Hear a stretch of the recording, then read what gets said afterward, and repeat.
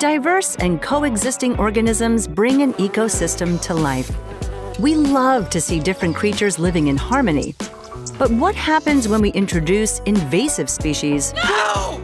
They have the power to cause irreversible damage to the environment. And it doesn't help that many of them will make your skin crawl. Here's a list of the top invasive species you should know about. Starting our list at number 6 is the Asian longhorn beetle. These beetles are native to China and Korea. They originally traveled to North America in untreated wooden shipping pallets during the 1990s.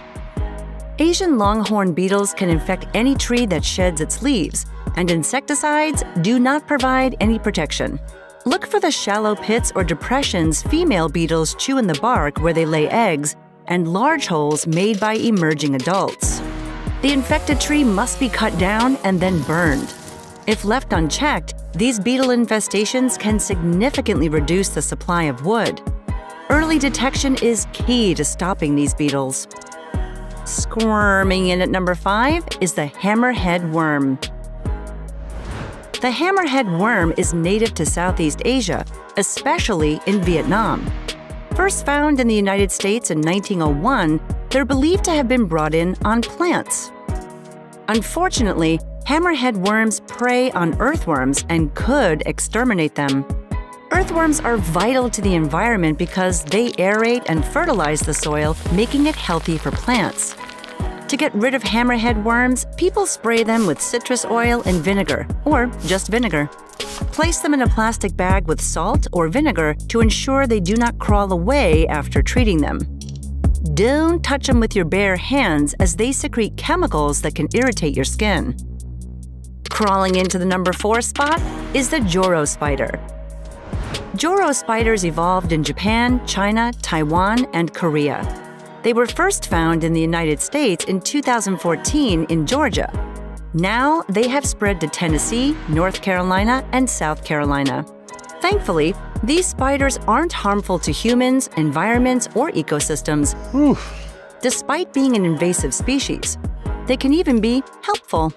Joro spiders eat the marmorated stink bug, another invasive species that native spiders don't eat. Stink bugs can destroy entire crops of corn, tomatoes, and more. Joro spiders will continue to spread, so we should get used to them. Creating a buzz at number three are giant hornets. Those are two words I don't like together. Also known as murder hornets, the giant hornet is native to China, Korea, Japan, and India. They were first identified on the west coast in Canada and the US in 2019. The name murder hornet refers to the threat they pose to other insects, especially honeybees.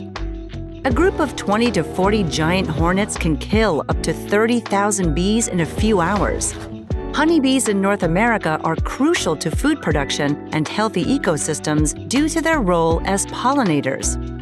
Preventing the spread of giant hornets is the number one control method. Humans destroy their nests, trap the hornets, and kill them. Hopping into second place are the jumping worms. They came from the grasslands of East Central Asia and arrived in North America in the late 1800s jumping worms will outcompete other earthworms.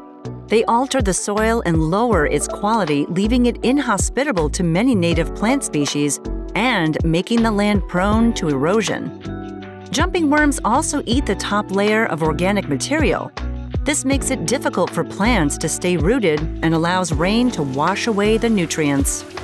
The most humane method of ending a jumping worm's life is using isopropyl alcohol, which will kill it within seconds.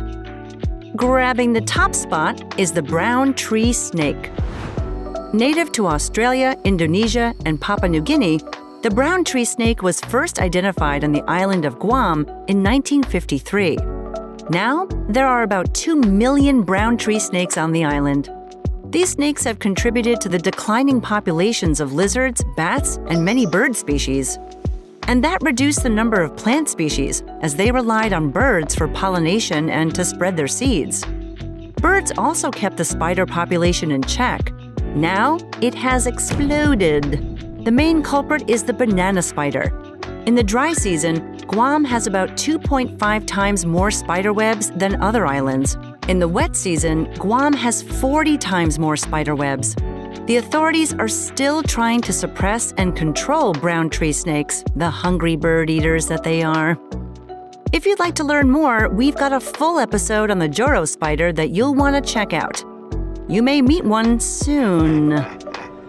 Disrupting environments and taking over ecosystems are what these invasive species do, and that's what makes them crazy creatures.